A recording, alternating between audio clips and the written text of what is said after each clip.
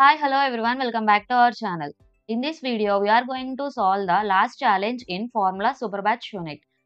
So, the last challenge is Formulas quiz. Click on this Take Quiz button. The first question is about in which scenario would a report formula be more appropriate than a formula field? So, the correct option is option A.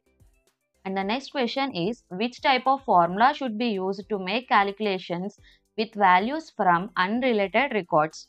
So the correct option is option C summary level report formula.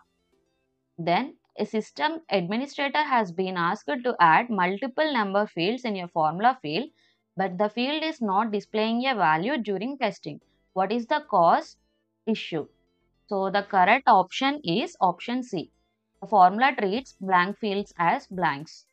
Then a system administrator receives a formula syntax error message that reads incorrect number of parameters.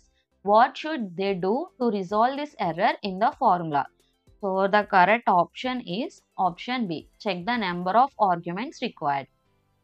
Then the last question is which data type is returned as a result of now function used in a formula. So the correct option is option A date time value of the current moment.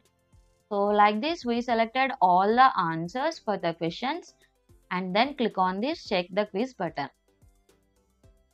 So yeah we completed the whole formula superbadge unit without any errors. Please do check out our channel Education Matters for next challenge answers, module answers and also superbadge answers. And please share our channel to your friends. It will help them too.